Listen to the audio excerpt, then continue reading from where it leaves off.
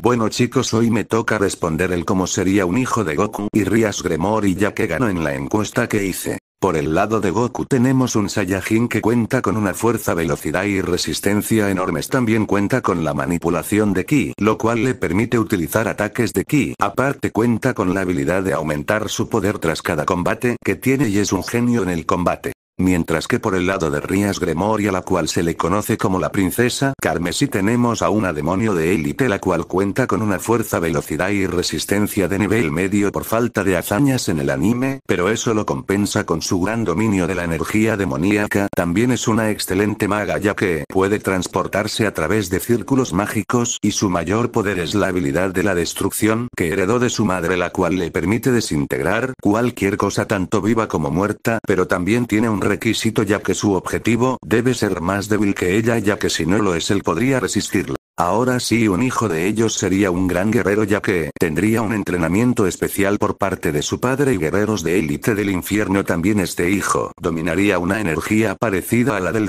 y por la habilidad de su madre la cual sería potenciada por la parte Saiyajin. Este hijo al igual que el de Super Girl tendría el potencial de superar a su padre. Perdón por no explicar más es que ya no hay más el hijo de Goku y Ria sería básicamente un Saiyajin demoníaco que puede usar magia así que literalmente este hijo tendría más habilidades que sus padres y estaría a otro nivel. Espero les haya gustado. No olviden dejar su me gusta. Adiós.